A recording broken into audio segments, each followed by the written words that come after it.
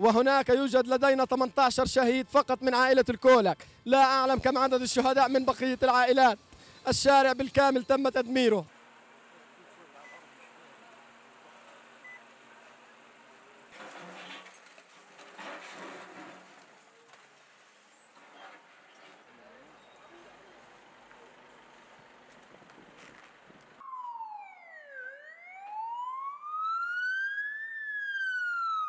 يعني وصل إلينا بعض الجرحى بعد عشر ساعات وهم أحياء وبعضهم وصل إلينا في النفس الأخير. لو كان هناك إمكانيات كبيرة وإخلاء أسرى للجرحى لكنا قد يعني أنقذنا بعض الأرواح في هذا الموقف.